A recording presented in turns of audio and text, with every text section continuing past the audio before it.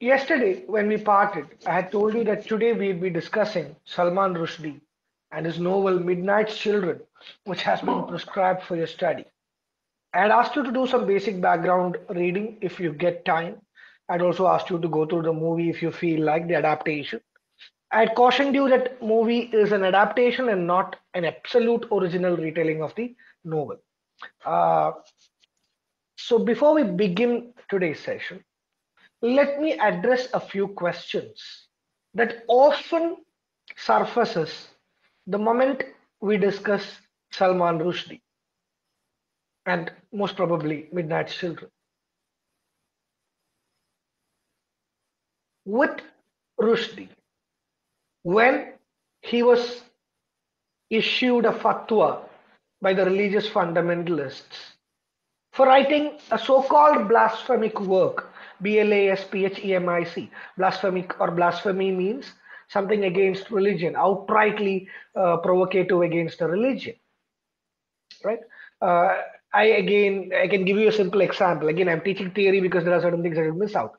Just like I told you about symbolic violence. So blasphemy. What is blasphemy?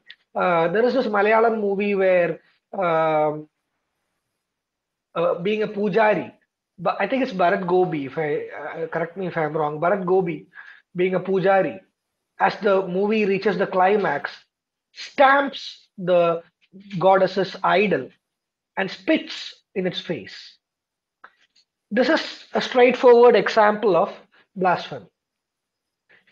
So, those who accuse Rushdie of being blasphemous, those who accuse Rushdie of being um, you know, someone who is to be uh, condemned, and those who issue fatwa against Rushdie did so on the basis of a work called Satanic Verses.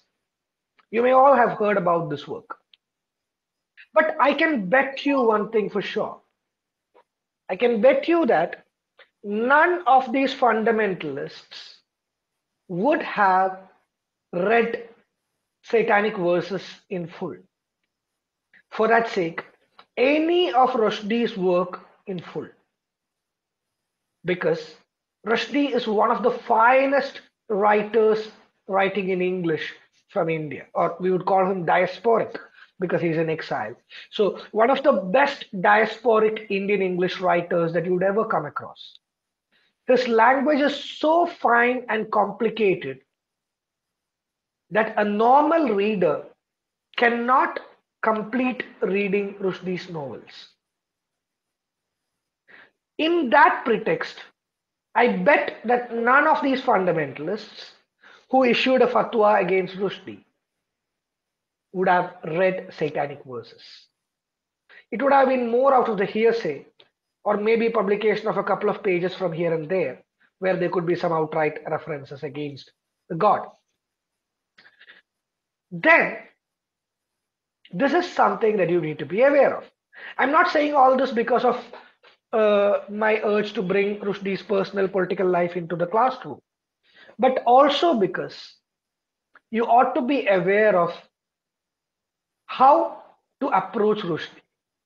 If you remember, the video that I played before starting my lecture today was Why Should We Read Midnight's Children by Iseult? Why should we read Midnight Children, or for that sake, why should we read Salman Rushdie as learners of literature?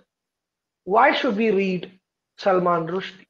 Where does he stand? How, where can we locate Rushdie? How appreciable is Rushdie? I bet as learners of literature, despite being postgraduate learners of literature, you will find Rushdie to be so complicated. So complicated in the sense that uh, his language is highly complex and you may find it really difficult to study or a hard nut to crack. A lecture from me or two would not save you from that uh, difficulty. I can only give you some parts or I can give you a few points, but then at the end of the day, when you go back to the drawing board, you will find Rushdie to be really, really, really uh, problematic. So the first question that surfaces is, why should we read Rushdie? And why should we read Midnight's Children? And time and again and time and again and time and again, when I speak to the re- to the learners, I tell them, read Rushdie because primary reason as students of literature we all like fancy fantasy uh, surprises. Rushdie has something called magic realism in most of his works. That will delight you that will excite you that will pump your blood out of it. That will that will astonish you. That apart rushdie brings forth scathing attack on these political vendettas religious vendettas and so on and so forth. And in doing it, more often than not, he brings in uh, uh, an element called historical metafiction. And that's another critical term that's pretty central to the discussions. You may go back to the glossary and have a look at these words if you want. Metafiction and historical metafiction. All right. So he intertwines or he blends history with narration or facts with fiction. And uh, he complicates the narratology. It applies to Midnight Children as well. I'll come to Midnight Children just a little while later. But then he blends, Rushdie blends history with fiction. And uh, he blends facts with fiction. And he tries to bring in narratives which are relatably unrelatable or reliably unreliable. I'm sure I'm confusing you further. Right? We often have this belief when we read fiction that narrators are to be believed. But then, Rushdie, hanging in the postmodern lines, tries to remind us that narrators are not to be believed, so where were I? Yeah, so uh, Rushdie, clinging in the postmodern balance, tries to remind us that in the postmodern era, narrators are not to be relied upon. Narrators can be biased. They can lie. And sometimes they can undesirably lie. It's not that they purportedly lie. Because as a narrator, when I try to narrate from my memory, memory is always fragmented. It is not linear, it is not concrete. So when I rely on my memory and I try to narrate something, facts could get distorted. I could get a couple of things wrong here and there. And Rushdie is adamant that we should exercise the reader's diligence to validate whatever happens over there. And sometimes he just amazes us with the magic realistic elements. So uh, we should read Rushdie, for that sake, his novels, for the precise reason that one, he presents magic realism. Two, his works are metafictions or historic metafictions, which blends facts and fantasies. and uh, thirdly, for the attacks that he has in political and uh, religious terms. So these facts should propel us as reader, as, as learners of literature to read Rushdie. So let me get started with, well, this is a key term that I have 30 minutes after every session. Let us get started. So let's get started with Rushdie. And as we get started with Rushdie, let me make things easier for you. Let me get started with something that you would be familiar with. What do we mean by magic realism. I'm sorry, I got the spelling wrong. So magic realism. Or what do you know about magic realism? Feel free to unmute yourself and share your feelings about magic realism with me.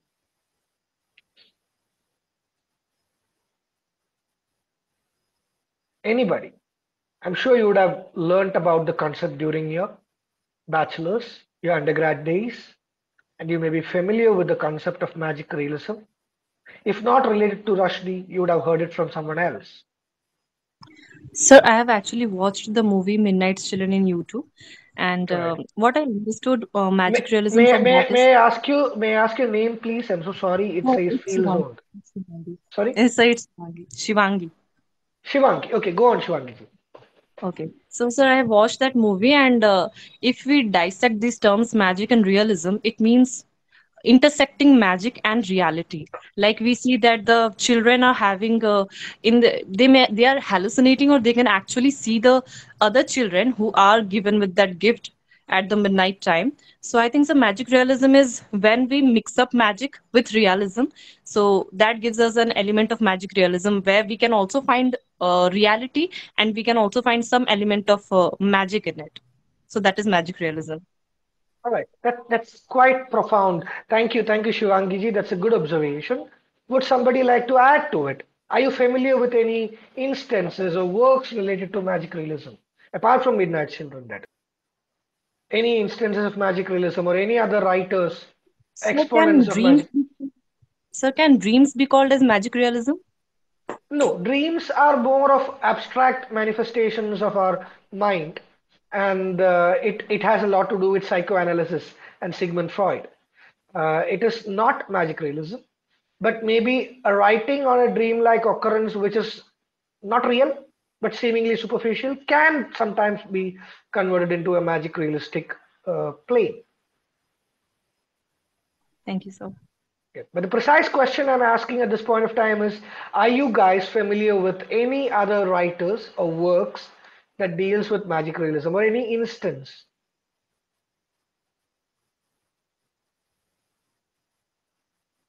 All right, doesn't matter, doesn't matter. Let's not waste time on that silences.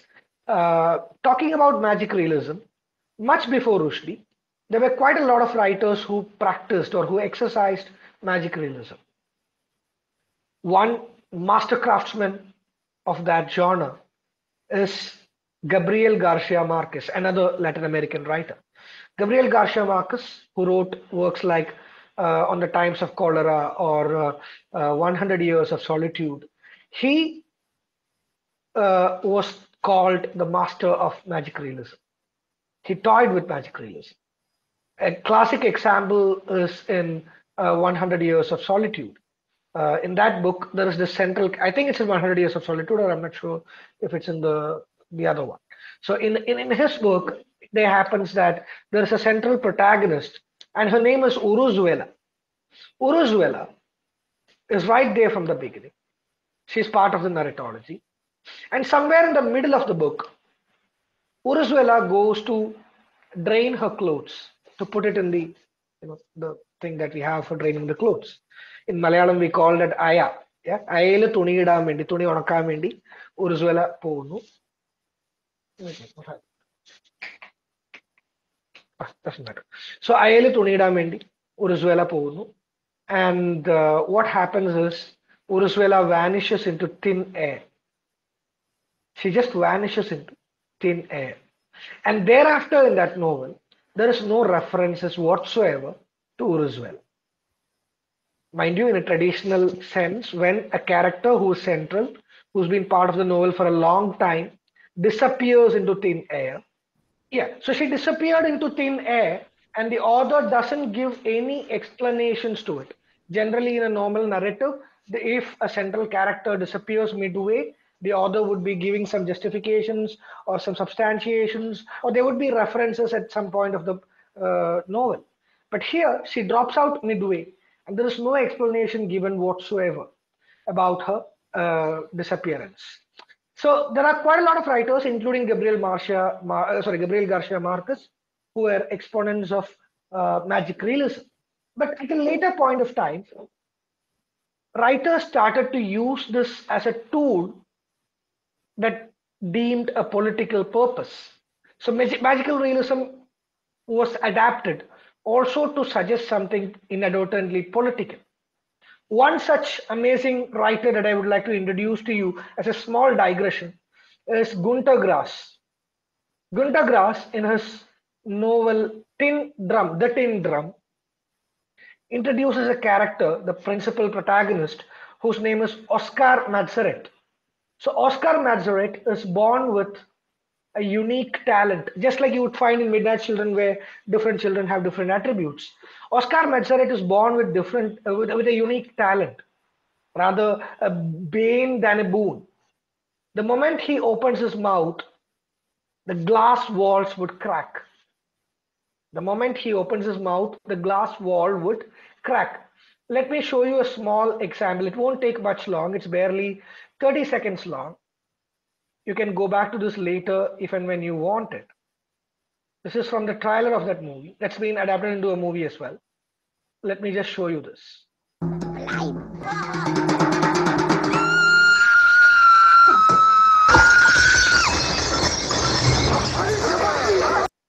All right. So that's how Oscar opening his mouth results in breaking of glass doors and glass walls and windows. And uh, this is another instance of magic realism. We can yell or we can speak the way Oscar does, but then the walls does not break. But you know that's where the blending of real with the magical or the superficial happens. So uh, it is in this case, Gunter Grass uses it as a resistance to fascism, especially of the Italian and German Nazi fascist forces. And uh, you can find the movie in YouTube if you want to. Tin Drum Novels adaptation is available in YouTube if you want to have a look at the movie. That's an amazing uh, story. If you haven't read, I would always recommend you to read The Tin Drum. Coming to Rushdie. Rushdie was so fascinated by the way Gunter Grass employed magic realism in a political manner. So Rushdie started his career with a novel called Grimus or Grimus, whichever you want to pronounce it, G-R-I-M-U-S. It wasn't a success. It was a flop, critically not well received. He was actually, um, you know, abused by critics all over. But then he gained his role through Midnight Children. Another prominent novel was Shame, S-H-A-M-E. So talking about magic realism, I'll come back to Midnight Children very shortly. And most of you may be familiar with the magic realistic elements in Midnight Children. But let me talk to you about this particular masterpiece. If uh, Midnight Children is about the partition of India and Indian independence and the story of India, Shame is a novel of a novel about Pakistan, the story of Pakistan, and it has its as its protagonist a Pakistani hero whose name is Omar Khayyam. Omar Khayyam. And as the novel opens, the chapter, the first chapter, is about the birth of Omar Khayyam. First chapter describes in detail the birth of Omar Khayyam the protagonist of the novel, Shame. So what happens in Salman Rushdie's The Shame is, in the first chapter, the first chapter describes the birth of the protagonist, Omar Khayyam. Do you know how Omar Khayyam was born? As the novel begins, we are told that there are three Muslim sisters. I always keep forgetting their names. Just for the sake of convenience, let me say uh, Chunni, Munni, and Dini, for instance. So there are three Muslim sisters, Chunni, Munni, and Dini. And uh, one fine morning, they all conceive, they all get pregnant. And as months pass by, their, their bellies enlarge slowly. Like it happens, pregnant women, they have uh, their stomach enlargement up until they deliver the baby. So let's say Five months after, all three have stomach bumps. And let's say nine months and nine days later, all these three sisters together give birth to a single child who is the protagonist of our novel, that is Omar Khayyam. You got astonished, didn't you? That's exactly what magic realism is all about. Three sisters, three Muslim sisters, get conceived in a single day and nine months later, they give birth to a single child who is Omar Khayyam, the protagonist from Pakistan, who is the hero of this novel, Shame. This is how Rushdie entices you to read him, or this is how interesting it gets to read Rushdie. I would recommend you to read this if you have patience. And I would like to remind you that he may not be an easy nut to crack. You may not feel the name is shame, Preeti Agarwalji, shame we are discussing Midnight Children, but then I'm giving references on um, magic realism. So Shame is a novel by Salman Rushdie. then I also was referring to Tin Drum by Gunter Grass. I also made references to Gabriel Garcia Marquez. Again, another work that may interest you, which is not a novel though, is a short story collection by Salman Rushdie. It's available in Flipkart just in case you want to buy one. It's a bit costly. The small book costs 500 Indian rupees, 499 to be precise. This book is titled East, comma West. East, comma West. And uh, this is a short story collection. It, it, it includes almost uh, nine short stories. But there are two which I would like to speak about at this point of time. One short story may be of interest to you if you read or if you learn MEG 2, British, no, uh, sorry, British drama. There is a play called Hamlet by William Shakespeare in MEG 2. So if and when you read MEG 2 and you read the story of Hamlet, there is a later retelling of Hamlet by Rushdie in this book. And the story is titled Yorick. Y O R I C K, Yorick. Just in case you have read that play before, you would realize that Yorick is a character who's not part of that play, but is referred to in a grave digger scene. Hamlet looks at a skull in a grave digger's place in a cemetery, and he wonders whose skull this is. And the grave diggers say that this is Yorick's, and Hamlet nostalgically remembers that he was the clown at his palace who had taken him during his baby days. So Yorick is a retelling of Hamlet's story, which exposes the clandestine relationship between Gertrude and Claudius. It is a compelling read. But then there are two more stories that I would like you to be aware of. One is The Prophet's Hair. Needless to say, you would understand that the tale would be blasphemic, would be anti Islamic in terms of the summaries. So the Prophet's hair is one story uh, that might interest you. The, the other one is the free radio. The free radio, which is second in this anthology, is a sarcastic take on Srimati Indira Gandhi's emergency politics. So the free radio is another story that I would request you to go through if and when you get time. It is one of the best satirical pieces that you would ever come across.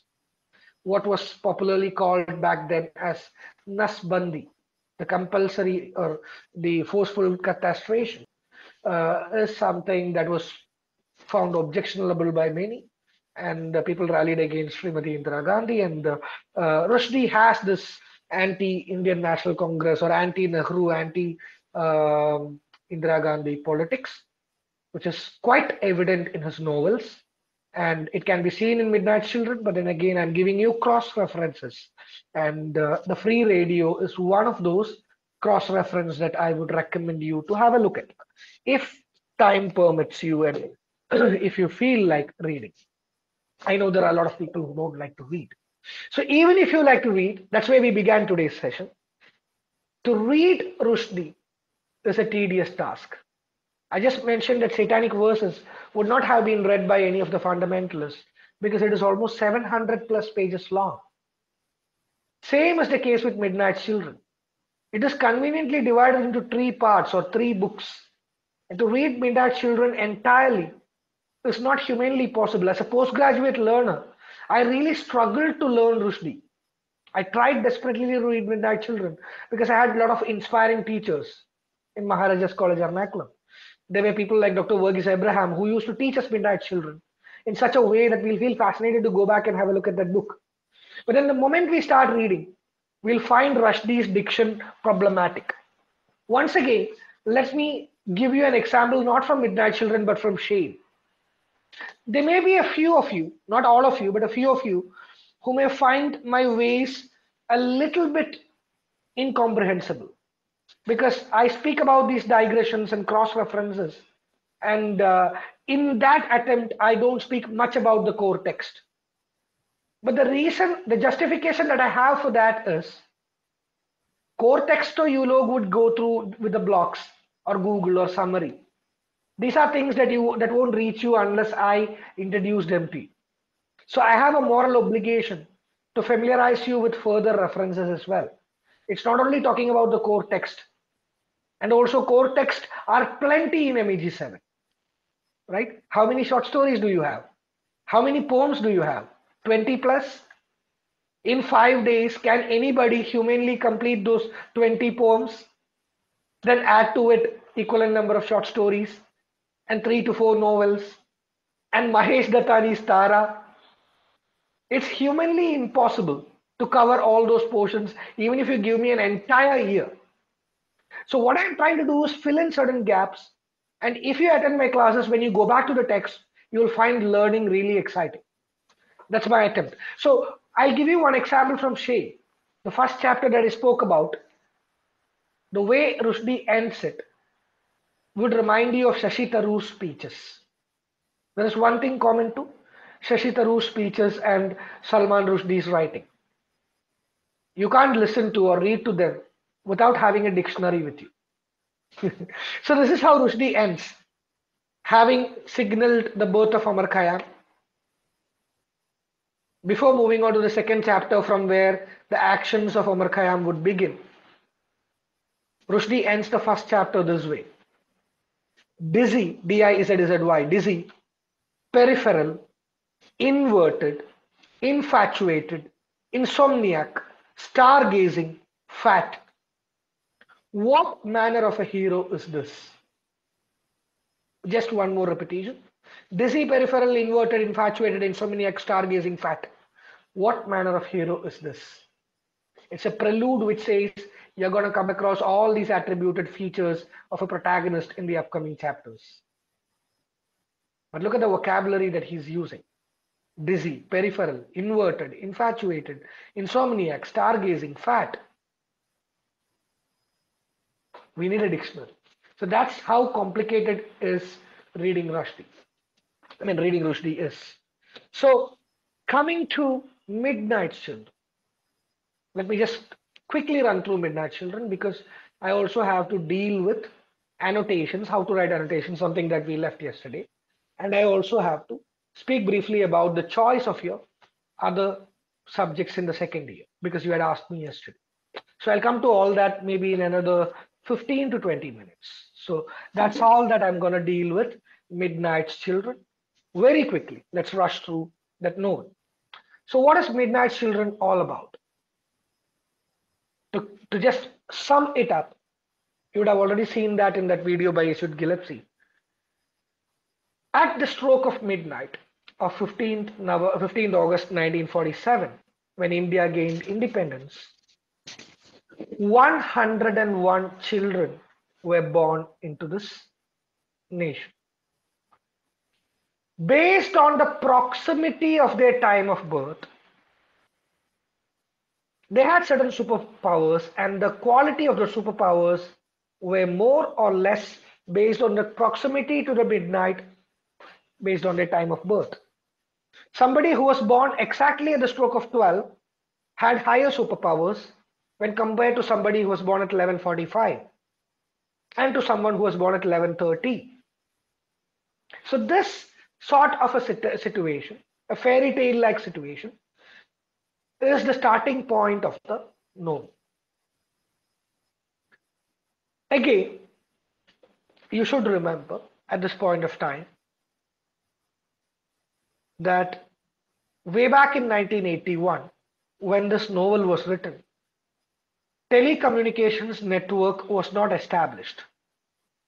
Today we have video call conferencing and we can connect to people globally. But way back in 1981, it was even unimagined. And that's where Rushdie prophetically establishes these conventions. So back then, you could call it magic realism, where Salim Sinai is able to, or all the Midnight Children are able to uh, interact with each other through brain mapping. But come to 2023, you would not call it magic realism, but you would call it teleconferencing or video conferencing. nonetheless,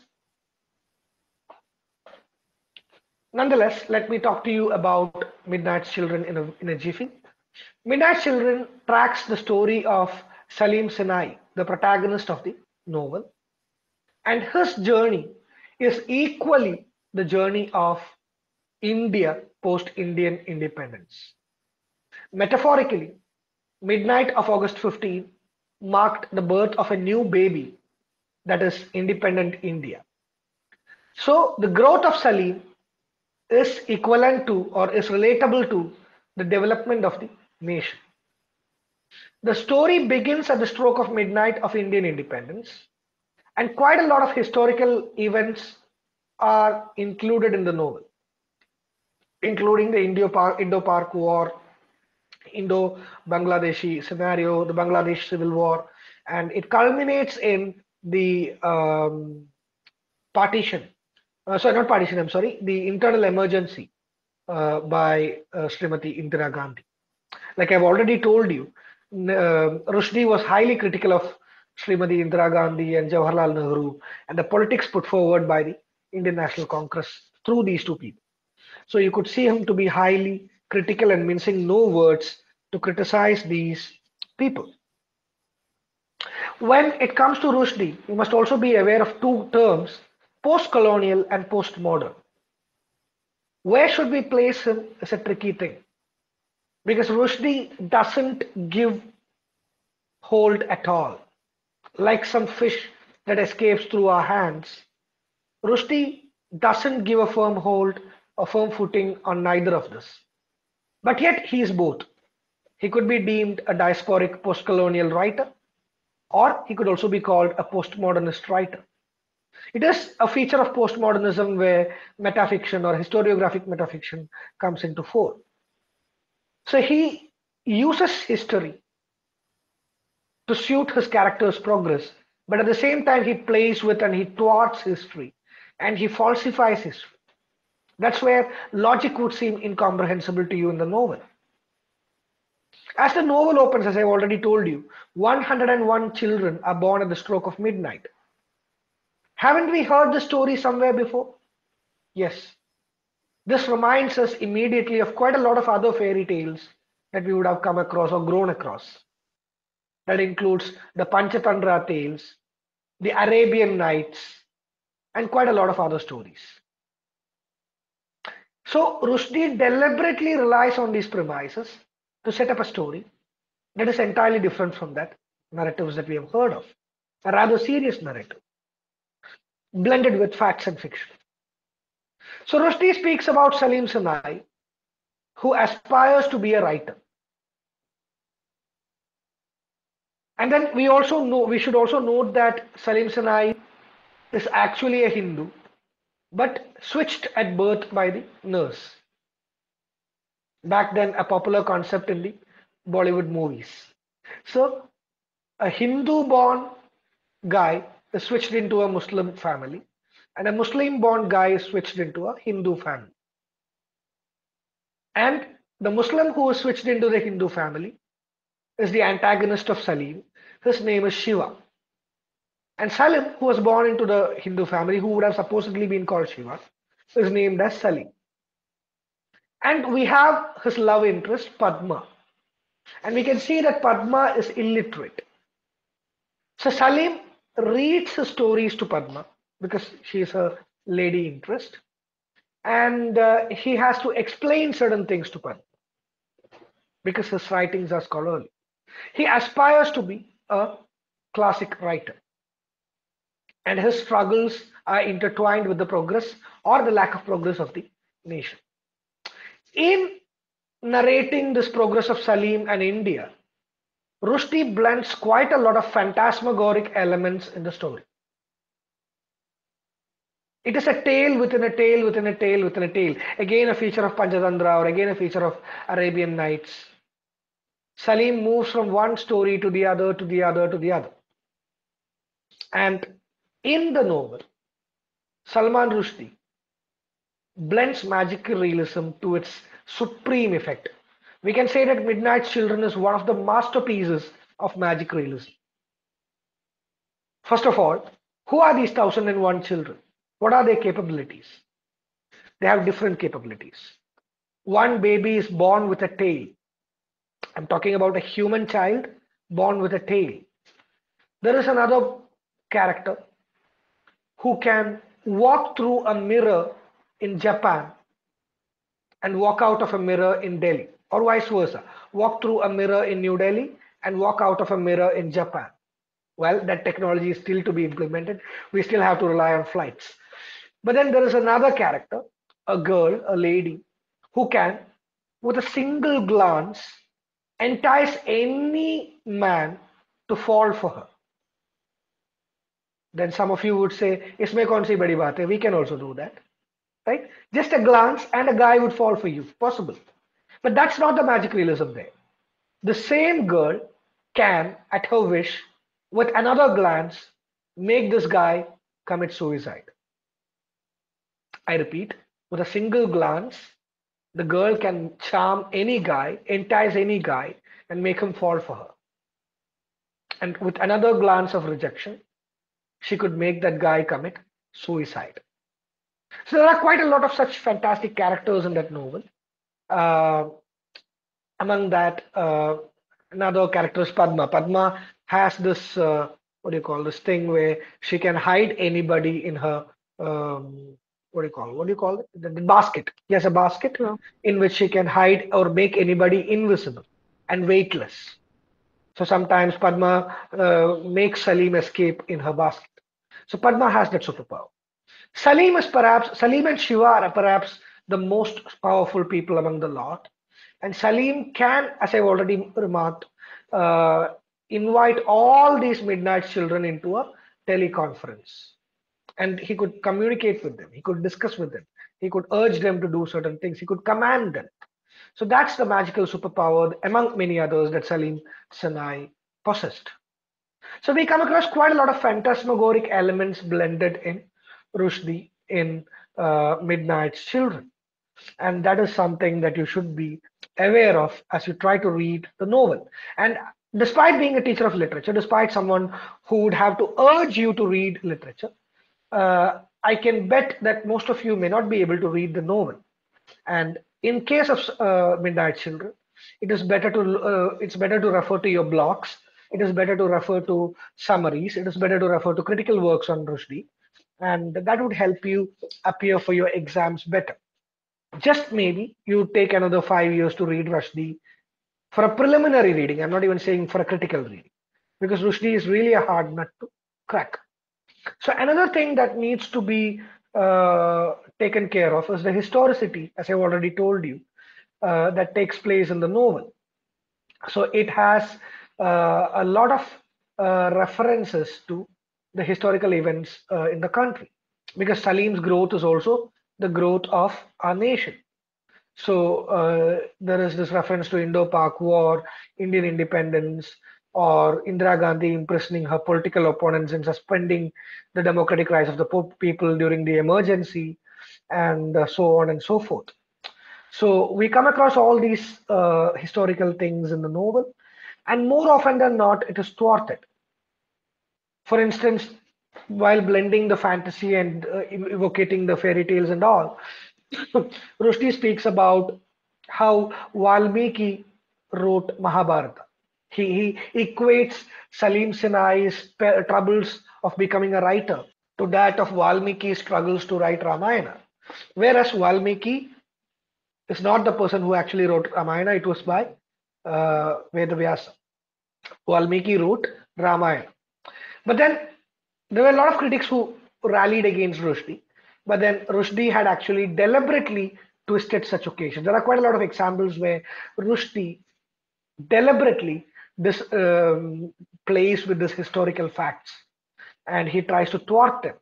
That is a postmodern way of reminding the readers of reader responsibility.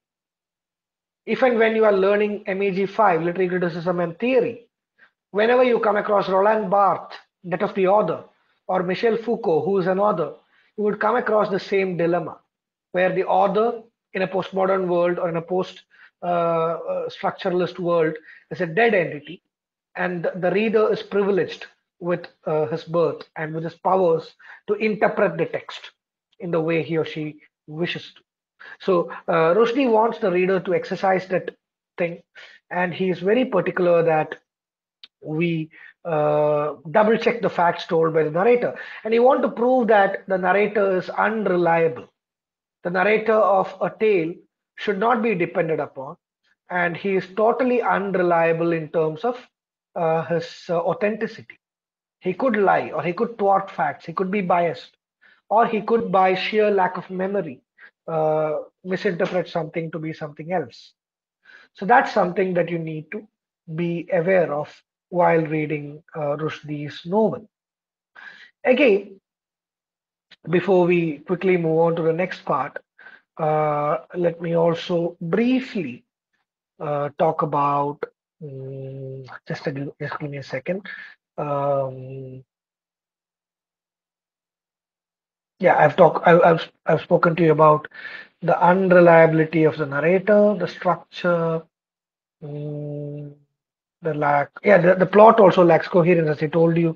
It is one story within the other and there is no proper beginning middle or the end.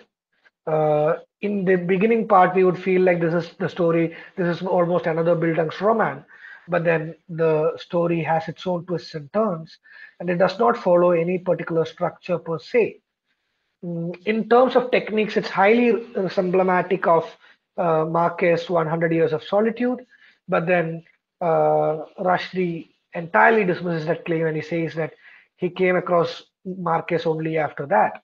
So, yeah, he, he says he was more inspired by the way Gunter Grass used magic realism for his political uh, purposes. And I have also made allusions to these fairy tales, Panchatantra, Kathasarit Sagara, Arabian Nights, or the other epics that we have grown up as children is highly relied upon by Rushdie to build up the novel. And let me again remind you that the movie is an entirely different thing. Movie barely does say 20% justice to the novel. The novel has not been converted effectively into a cinematic form. It is literally impossible. Maybe in the post-COVID world, if you think about a web series on Midnight Children, I would say it would still make sense. But as a novel, I'm not so sure. I mean, as a, as a movie, I'm not sure it, it, it reaches any of those uh, intended purposes. I have also referred to this uh, Valmiki thing, and uh, did I miss something else? Let me just scroll through these texts. Uh, yeah, I think I have almost rushed through the core aspects. The summary or the internal details are for you to read. The language is something I missed out, but then I'll come back to it if and when I get time in the next schedule, if we have a next schedule, uh, I'll discuss Kanthapura and I'll discuss Rushdie's language with you because that's also something significant, but we'll do that in our next session, if we are blessed with the next session, that is.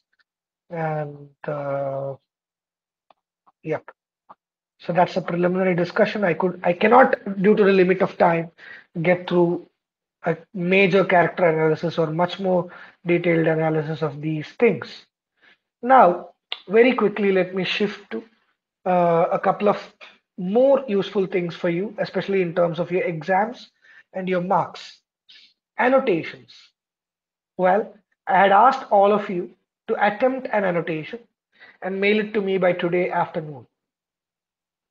I only got one or two, and uh, then I thought maybe you are taking time, and I gave, uh, I, I texted you at four o'clock urging you to send me your annotations.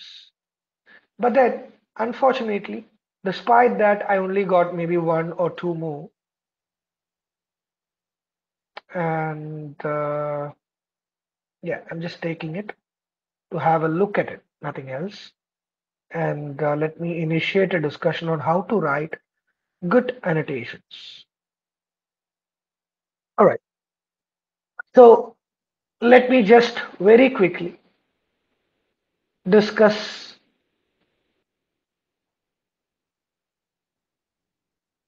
how to write annotations to you.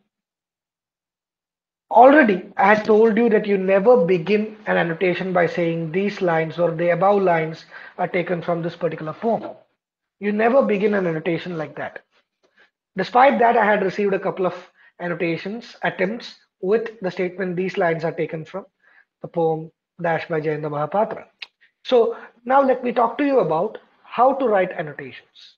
So how to write annotations. So talking about annotations, it has to be divided into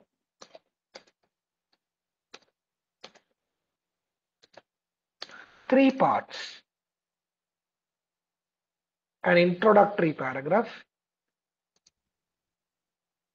which should be three to four to maximum five sentences long.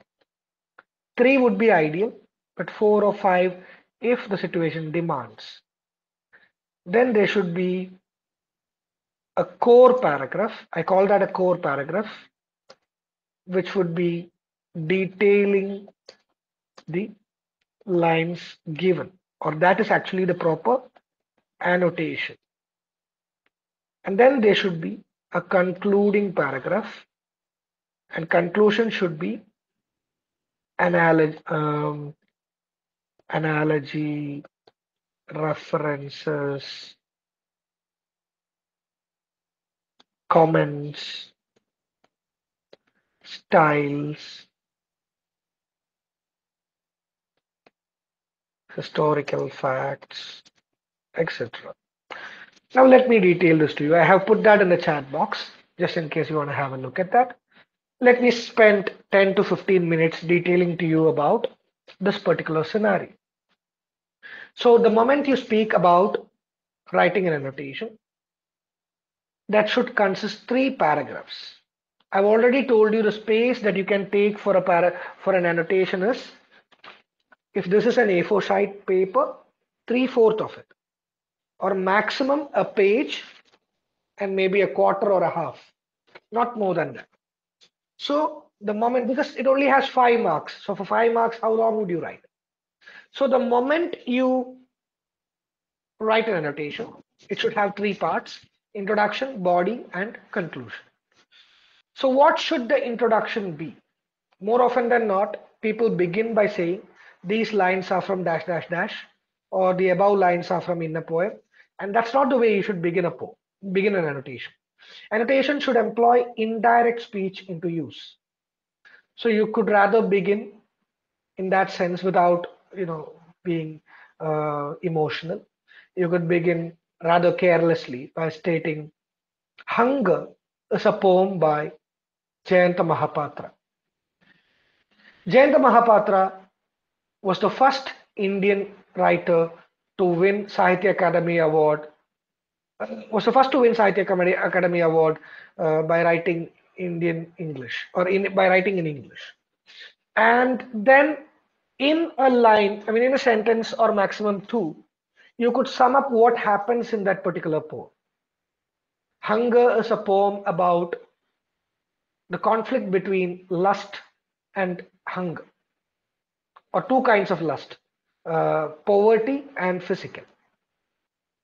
This includes your first paragraph. Let me repeat once again. Hunger is a poem by Jayanta Mahapatra, or it could be an introduction is a poem by Kamala Das, or Poet Lover Birdwatcher is a poem by uh, Ezekiel. No, it's the other guy. Okay, whoever it is. Okay, so, or for instance, uh, um, our Casuarina Tree is a poem by Toru Dutt. So that's your first statement. You identify where these lines are taken from. Because you have six to eight annotations, you have to write four of them. So you identify, first of all, from which piece this is taken. In identifying that, don't say these lines are from this poem by this poem, but rather say this particular poem is written by this particular person. Our Casuarina Tree is by Toru Dutt, or um, Hunger is a poem by um, this particular fellow. Um, or let's say, um, yeah, Hunger is a poem by Jayanta Mahapatra. Uh, and then you go on to say about that particular person in a single line. You could say, uh, if you are, say, for instance, if you are talking about R. Parthasarathy, you have three poems prescribed by uh, R. Parthasarathy. So, if, say, for instance, you are talking about his poem Homecoming, so you could say uh, Homecoming is a poem by R. Parthasarathy. R. Parthasarathy uh, is one of those, uh, is one among the three uh, poets uh, from India who paved way or who laid foundations on which Indian poetry was built upon, including A.K. Ramanujan and Jayanta Mahapatra. And then you speak about Homecoming is a poem about Dash. This is how your first paragraph should be composed of. Let's say if it's about an introduction, an introduction is a poem by Kamala Das. Kamala Das is one of the most notable confessional poets, or rather women poets in India, whichever way you want to phrase it. And then you speak about an introduction is one of the noted poems by Kamala Das, which talks about her dilemmas or her miseries as an Indian woman writing in English, and also as a girl, as a woman who was married off at a young age. This forms your first paragraph. Here you have stated which poem, which author. You have written about the author in a sentence or two, and you have also summed up the poem in a line or two. That's done. The last line of that poem should be the, I mean, that will be ideal. This could be the last line, but if you have that sort of a photographic memory, you can end that statement, that, that paragraph by stating in which stanza, which line this particular line occurs. Let's say in the case of yesterday, uh, in the second stanza of the poem Hunger, Jayanta Mahapatra says, uh, widowed, white clad women waited outside the temple faithfully. You could recreate those lines if you want. Your second paragraph, needless to say, is an elaboration of that idea that is being conveyed. The idea that is being conveyed. For instance, if you uh, you you will be you will be you'll have to uh, summarize what is being said in those lines. Let me just give you a demonstrative example because otherwise I think maybe you will find this explanation boring. Are you able to follow me? Whatever I've said so far, is that comprehensible to you? Yes, sir. Okay, thank you. So let me just share the screen. Take the example from what we taught yesterday so that it's relatable to you. So let me just share my screen and show you hunger, not the other one though not Dawn at Puri. I messed up a little bit. So, okay. So if these three lines are asked, the fisherman said, Will you have her carelessly, trailing his nets and his nerves, as though his words sanctified the purpose with which he faced himself. So if these three lines are asked for annotation, your introduction would be, as I've already told you, Hunger is a poem by Jayanta Mahapatra. If there's a collection, you can add that as well. This, uh, an introduction, for instance, is from the collection of poems Summer in Calcutta. So you could add that if you want. That's okay. Then you speak about the author, and then you say um, the poet opens the poem. As the poet uh, begins the poem, we could see that the narrator is with a fisherman, and the fisherman offers. Uh, the fisherman is in misery or in poverty, and uh, he offers his daughter to the uh, narrator. And uh, then you quote these lines and then you move on to the second paragraph where you summarize these lines. So, what would be the ideal summary? In that opening stanza, the fisherman tells the narrator. So, you're putting it into reported speech. The fisherman said becomes into the reported speech. So, you say the fisherman tells the narrator or asks the narrator whether he would have his daughter. He appears to be in a careless manner, or he pretends to be careless or unbothered. Uh, but then he is struggling to control both his nerves and his nets. And uh, he blindly believed that his words would uh, sanctify the purpose that is the poverty or the misery that he is in. He has to feed a lot of stomachs. And then uh, you could say that, mind you, only these three lines are given.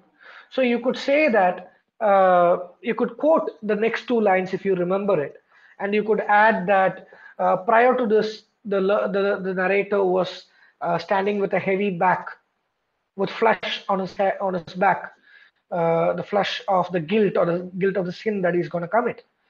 And uh, after the fisherman said this, he could, despite the fisherman trying to be unemotional, uh, the narrator could see that the fisherman wanted him to oblige. The fisherman's eyes were so exci- so uh, desperate, uh, urging this man to accept the offer. If required, if you think this is not enough, you could also add a couple of lines on what happens later.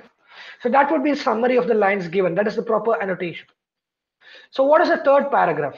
That is a crucial paragraph. After the first paragraph where you have identified, the third paragraph is what is going to fetch you marks. The third paragraph is your conclusion.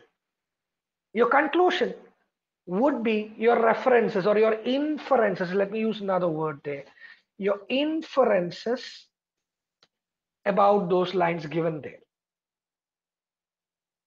Let me take a situation out of the context. I'm not talking about Indian English poetry right now.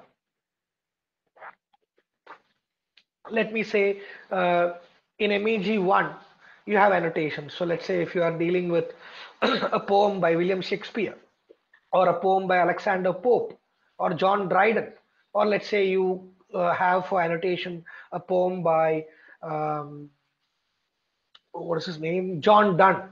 John Donne, who's known for metaphysical poetry. So then, in the last paragraph, you are expected to bring out the salient features of their writing style.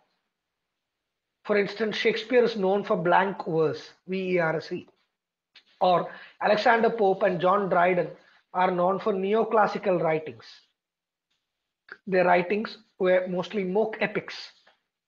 So there was an epic structure and a para, an iambic, uh, Shakespeare used iambic pentameter. Similarly, uh, Dryden and Pope wrote in another, I, I, I get heroic couplet form. Yeah, they used heroic couplet form. Uh, Dryden invented it and uh, Alexander Pope perfected it.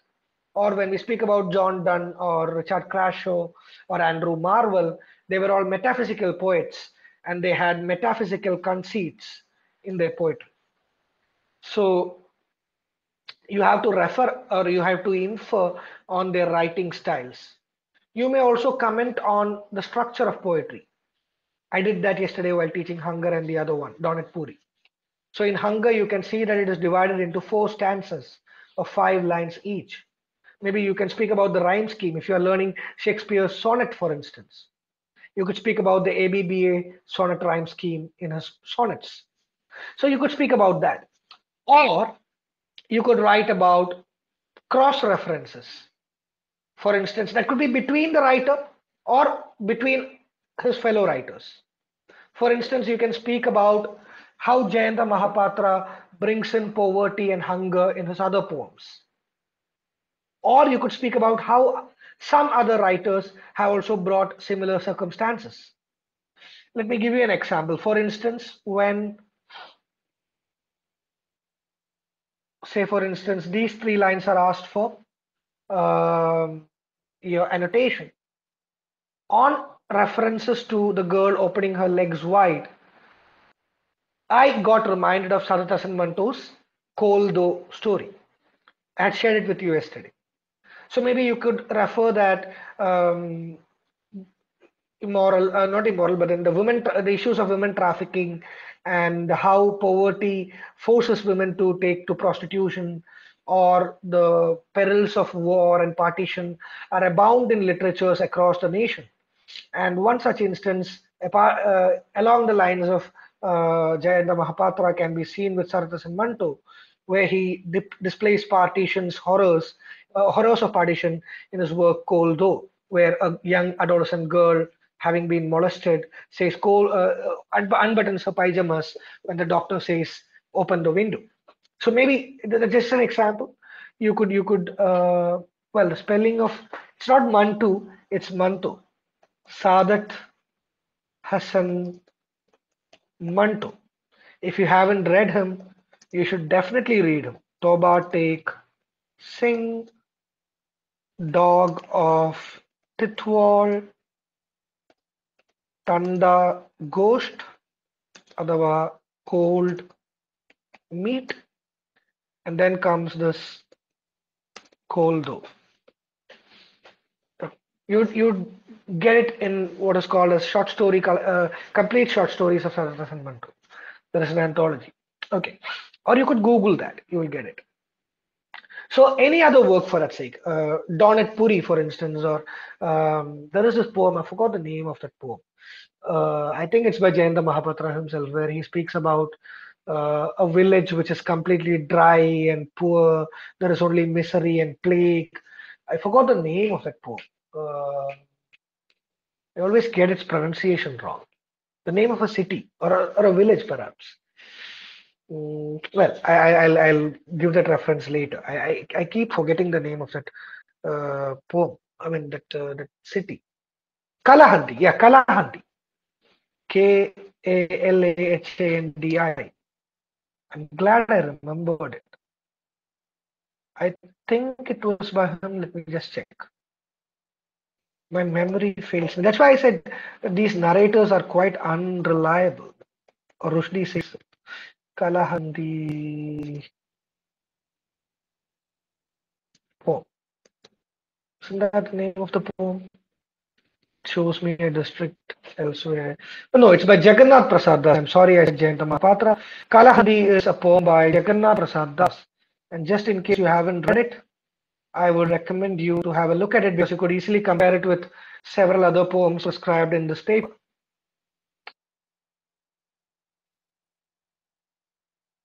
All right. So that's a poem that I would like you to go through if you get time, if and when you get time.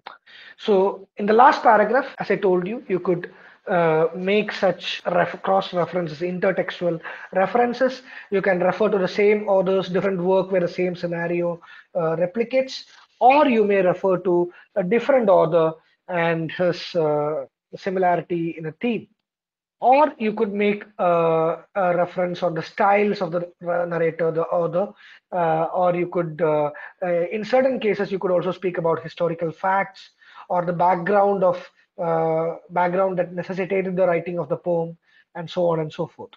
Or you could also comment on the poem. It could be your comment, or it could be uh, a comment of a, a popular critic that you have come across maybe a, a, a comment, a critic says that this particular poem is uh, a classic, for instance. So you could quote that critic and say that this critic says so. One danger when I speak about this is that I have been told by a lot of learners uh, quite honestly that they end up creating a lot of non-existent critics. They would go and say that uh, PC Borwall uh, speaks highly about uh, KGN Daruwalla, and he says that Daruwalla is one of the best writers in India. Or people say that um, uh, uh, uh, one of the noted poets in 21st century and a well-known critic, one Mr. Anand Krishnamurthy, um, condemns the writing style of Kamala Das. Whereas it's not about me, they're just giving a fictitious name and they say that this particular person has such a take on uh, a particular person. So uh, be aware that those who are valuing the papers have been doing this for ages and they would easily get to know that you have cooked up a name and a comment. And one factual thing is that when you put a quote on record, let's say, for instance, if T.S. Eliot says that Hamlet lacks an objective correlative and hence it's an artistic failure that's what he says. So then you have to put it in double quotes. But the moment you put it in double quotes make sure that you have not missed a single letter or word in that. It should be the absolute verbatim.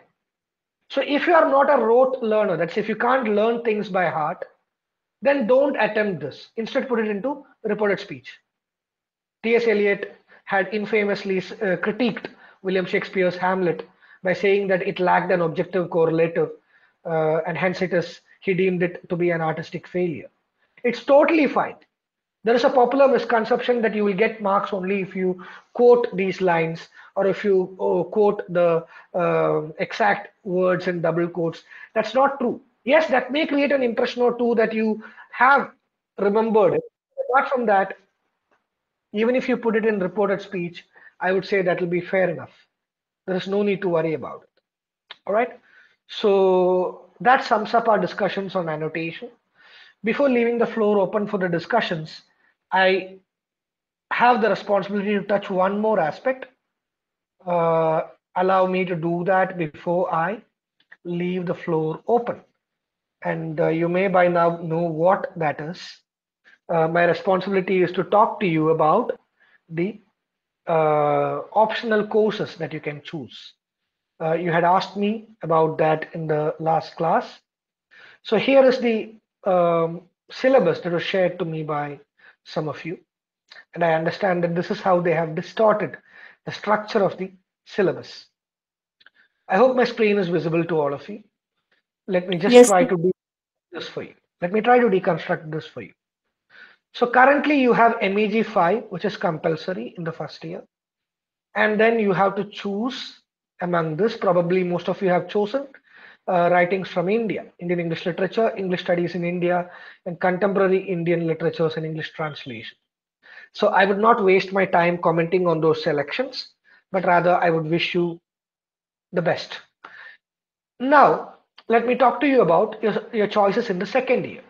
From what I can see from the syllabus, unlike the first year, you have a privilege to choose between the core papers. You have two core papers in the second year.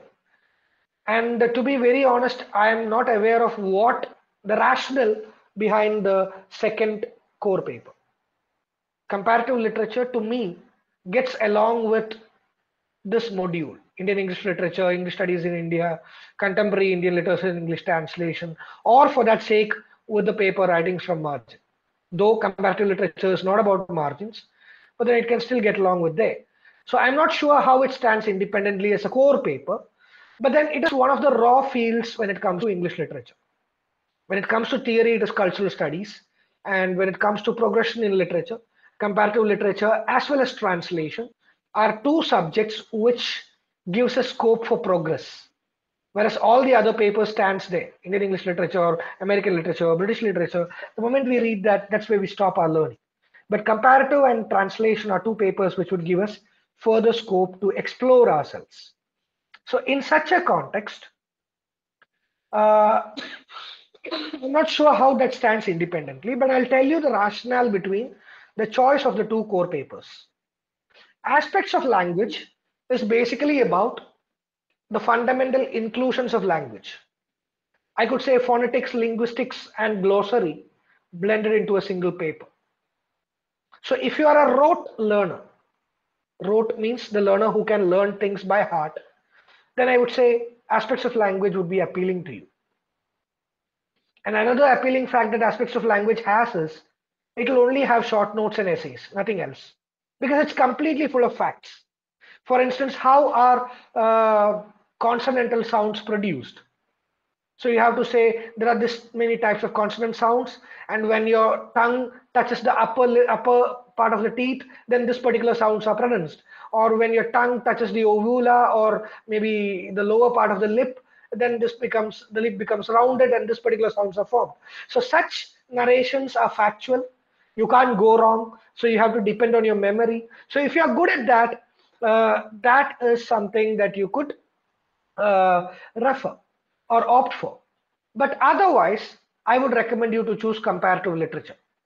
Again, I would like to caution you on choosing comparative literature because it has annotations. So far, I don't know if it will change, but comparative literature paper for its final exams, the first section is annotation.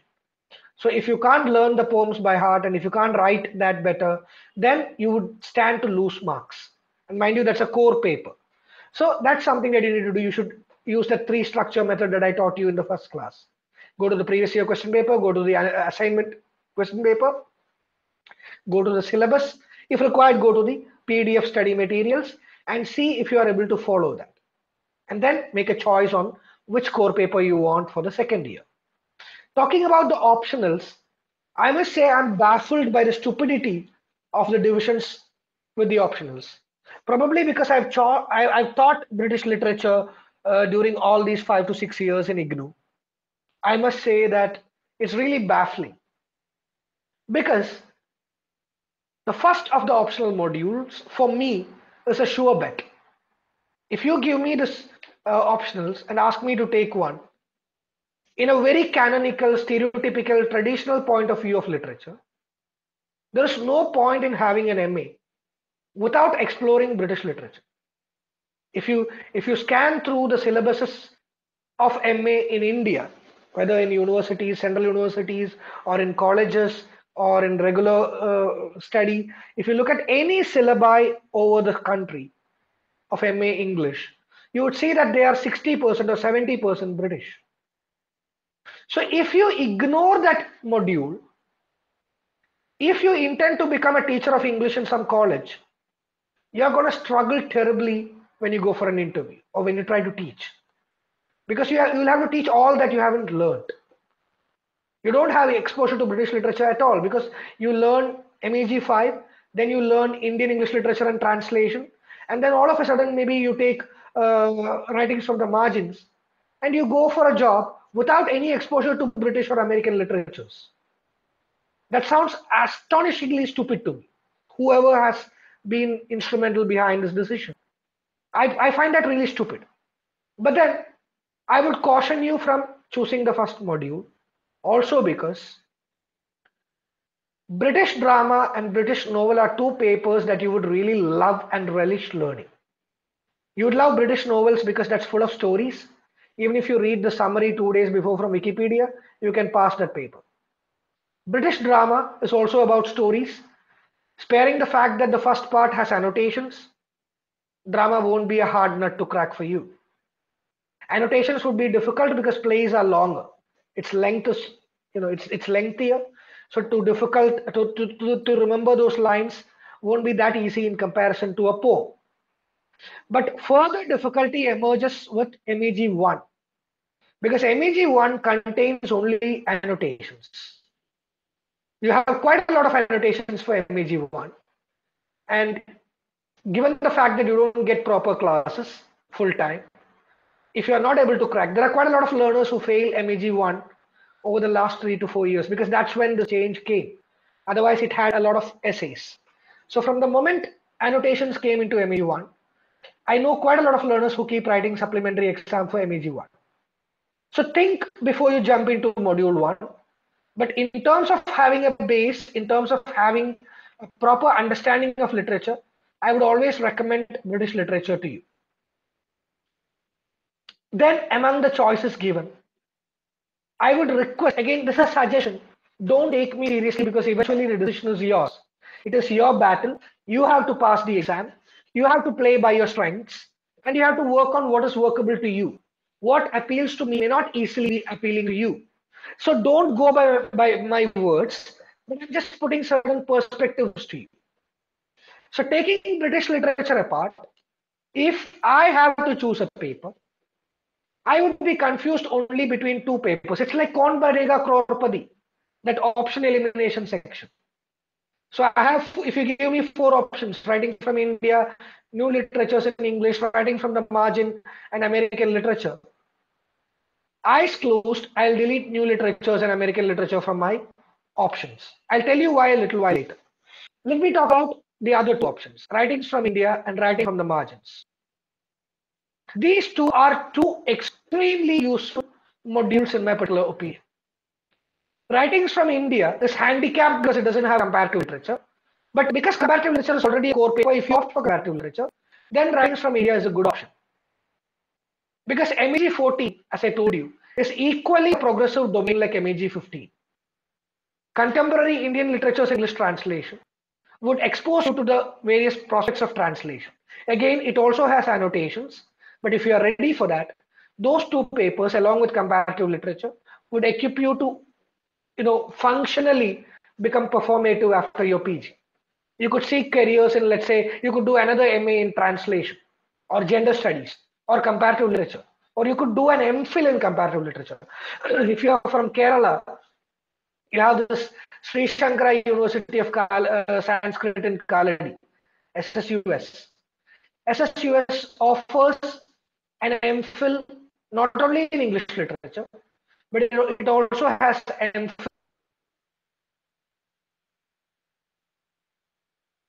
in comparative literature, and it also has an MPhil department in translation and gender studies. So you could opt for any of this if you have it as a course of study.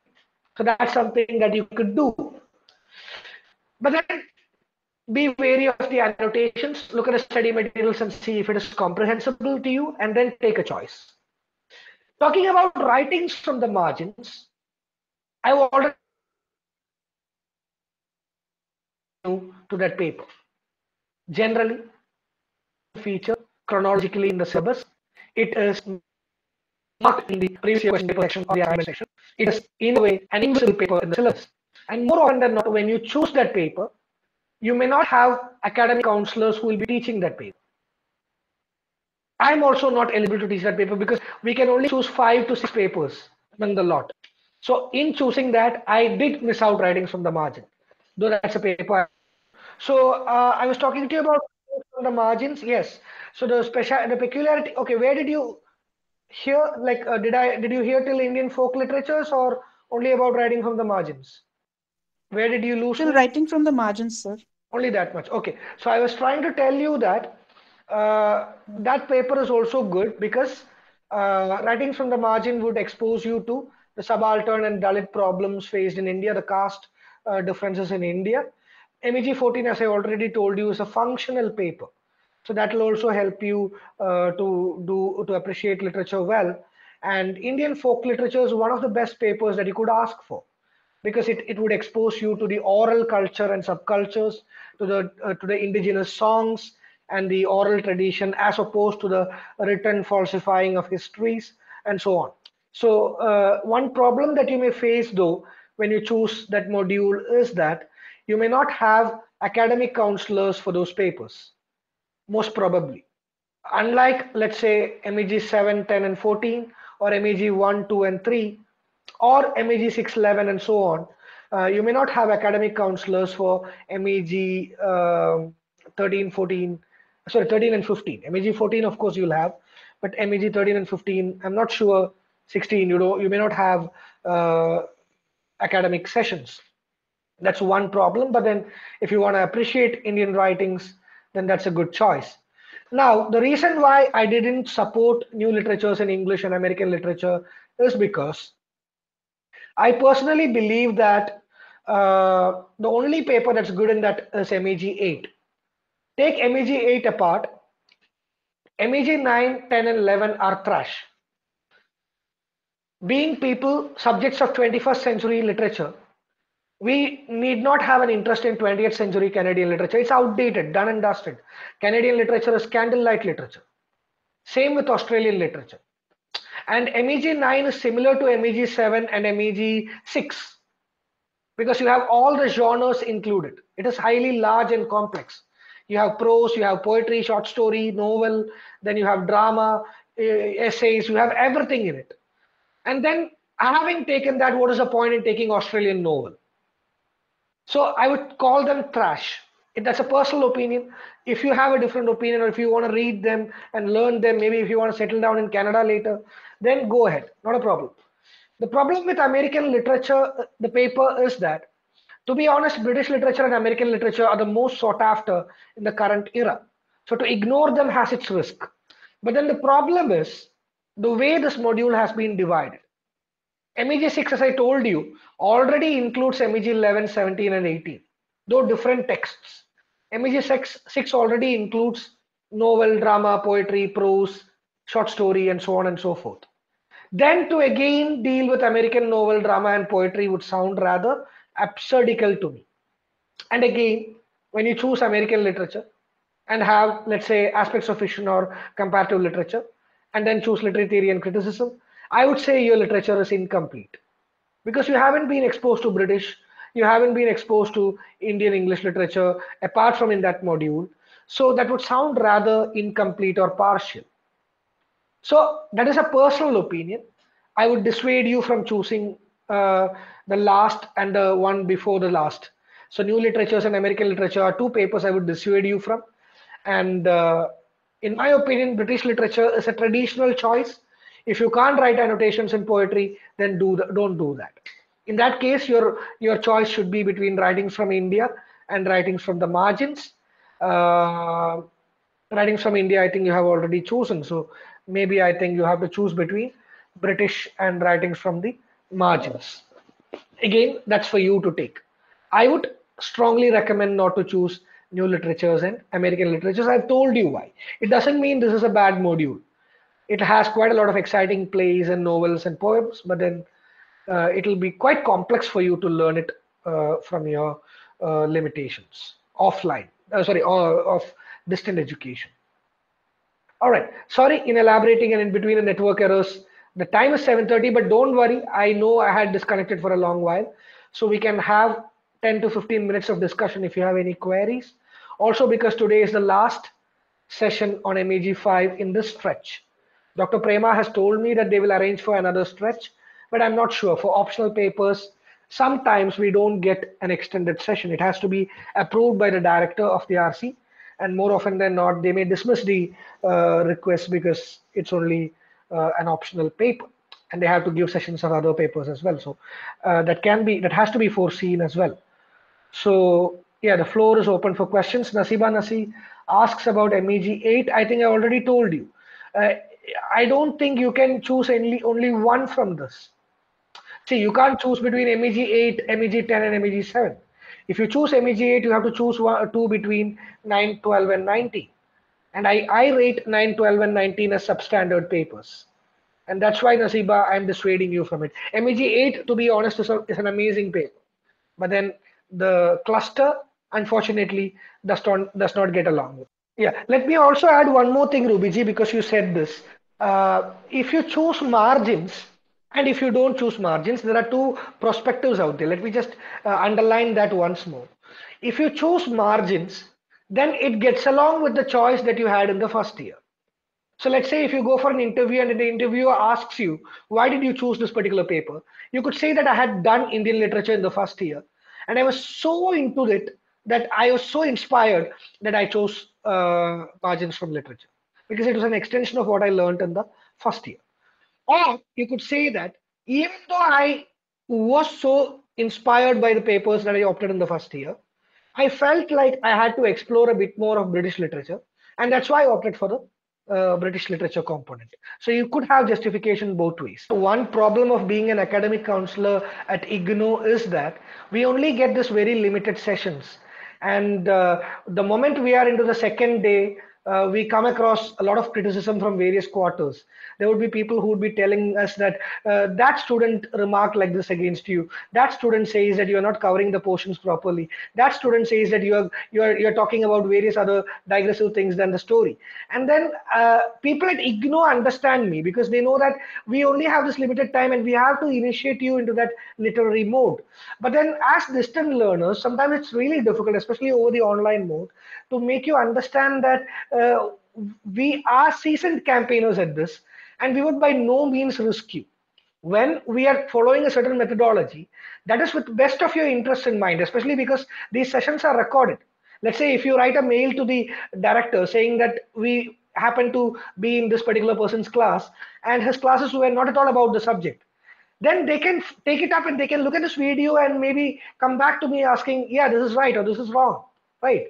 So we are very well aware of this and at least there have been times when we have been questioned by people because they were not able to follow us.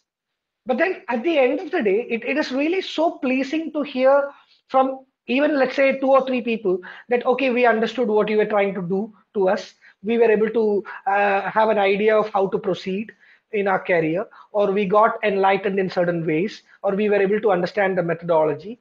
And uh, that's something that's so soothing and inspirational uh, again uh, this is not a personal reference but then uh, on the second day a colleague of mine had actually quite alarmingly called me up uh, not second day third day it was yesterday yeah yesterday uh, before my fourth class.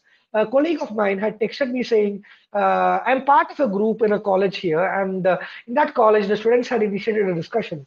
And somebody who missed the class asked how's the classes? And somebody texted, oh, he took an introduction and the Sunshine Cat, and he just rushed through the Sunshine Cat.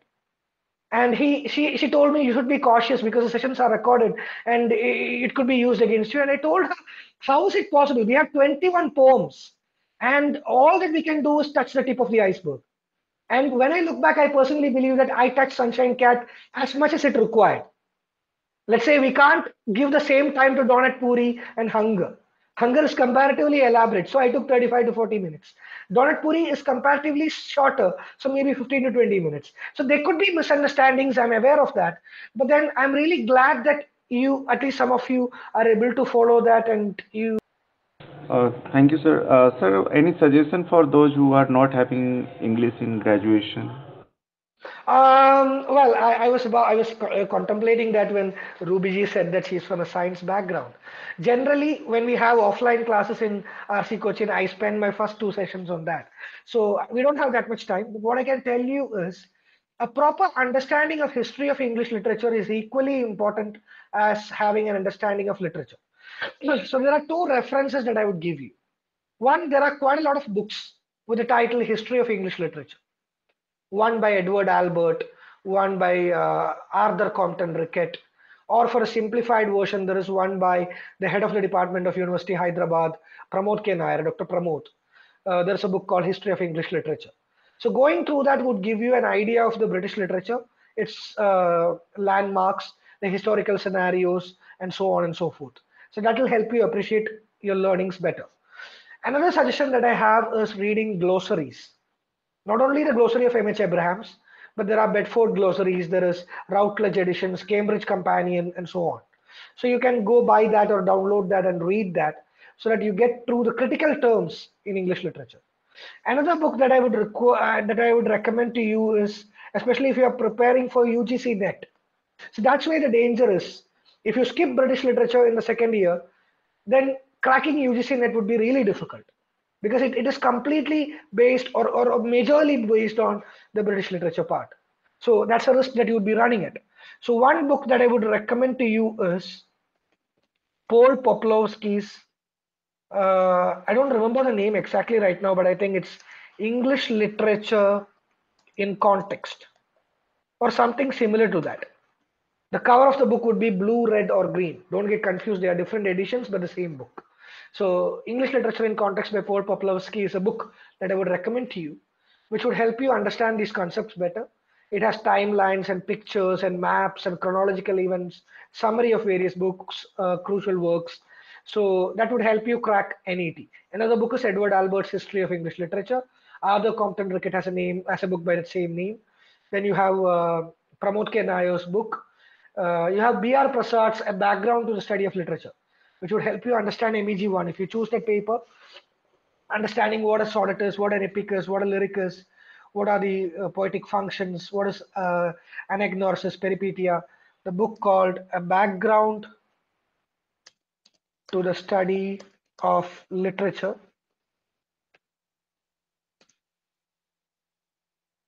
by B. Prasad would be immensely helpful to you. So if this be the last session, is there any other doubts that you want to clarify, assuming that we don't meet again? Though this world is such a small, small world, and we can meet as many times as we want. You, if you're working somewhere, you can easily invite me for a lecture there and share the links with your friends, and we can easily discuss some other topics. There are quite a lot of interesting things. Theater of the absurd, Shakespearean theater, or uh, current trends in literature, research, or job opportunities. We can discuss anything under the sky. So facilitate me somewhere, and then we can uh, meet again online, offline, whichever way you want, and we can continue this association. I do get a lot of calls from my students to various institutions that they work. I've been to various parts of India thanks to my students from IGNOU because they invite me for lectures for their students in school, colleges, uh, generally about research, career opportunities, or theater, and so on and so forth. So, yeah. Any other queries, or else we'll say good night for today.